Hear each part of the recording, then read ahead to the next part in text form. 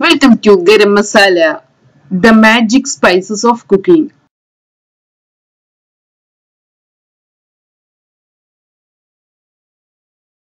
ഈന്തപ്പഴം പുളിങ്കറി. ഇന്ന് നമുക്ക് ഈന്തപ്പഴം പുളിങ്കറി തയ്യാറാക്കിയെടുക്കാം. ബിരിയാണി ഗീ റൈസ് റൈസ് ഇവയുടെ കൂടെയുള്ള നല്ലൊരു കോമ്പിനേഷൻ ആണിത്.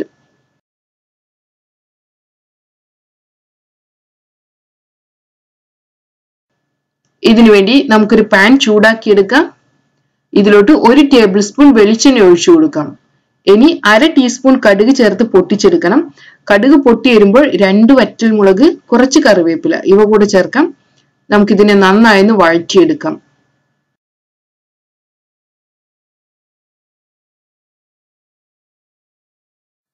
ഇനി നമുക്ക് ഫ്ലെയിം ഓഫ് ചെയ്യാം. ഇതിലോട്ട് നമുക്ക് അര ടീസ്പൂൺ മുളക് പൊടി ചേർത്ത് കൊടുക്കണം. നമ്മുടെ പാൻ നല്ല ചൂടുള്ളത് കൊണ്ടാണ് ഫ്ലെയിം ഓഫ് ചെയ്തത്. നമുക്കിതിനെ നന്നായി ഇളക്കി കൊടുക്കാം. അടുത്തതായി ഇതിലോട്ട് നമുക്ക് ഈന്തപ്പഴമാണ് ചേർത്ത് കൊടുക്കേണ്ടത്. ഞാനിവിടെ പത്ത് ഈന്തപ്പഴമാണ് എടുത്തിട്ടുള്ളത്. ഇതിന്റെ സീഡ്സ് എല്ലാം കളഞ്ഞ് ചെറുതാക്കി മുറിച്ചെടുക്കണം.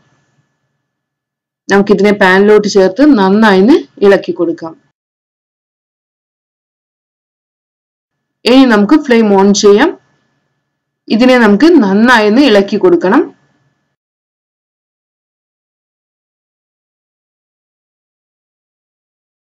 അടുത്തതായി ഇതിലോട്ട് നമുക്ക് പുളി വെള്ളമാണ് ചേർത്ത് കൊടുക്കേണ്ടത്. ഒരു നെല്ലിക്ക വലുപ്പത്തിലുള്ള പുളി പിഴിഞ്ഞെടുത്ത വെള്ളമാണിത്. അര കപ്പ് വെള്ളത്തിലാണ് ഈ പുളിയെ പിഴിഞ്ഞെടുത്തിട്ടുള്ളത്. ഇതിലോട്ട് കാൽ കപ്പ് കൂടെ വെള്ളം ഒഴിച്ചു കൊടുക്കാം. നമുക്കിതിനെ നന്നായി മിക്സ് ചെയ്തെടുക്കണം. ഇനി ഇതിനെ നമുക്ക് തിളപ്പിച്ചെടുക്കാം. ആവശ്യത്തിന് ഉപ്പ് ചേർത്ത് കൊടുക്കാം. മീഡിയം ഫ്ലെയിമിൽ ഇട്ട് വേണം തിളപ്പിച്ചെടുക്കാൻ.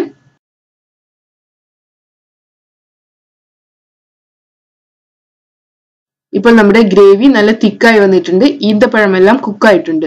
നമുക്ക് ഈ ഈന്തപ്പഴത്തെ എല്ലാം ഒന്ന് മാഷ് ചെയ്ത് കൊടുക്കാം.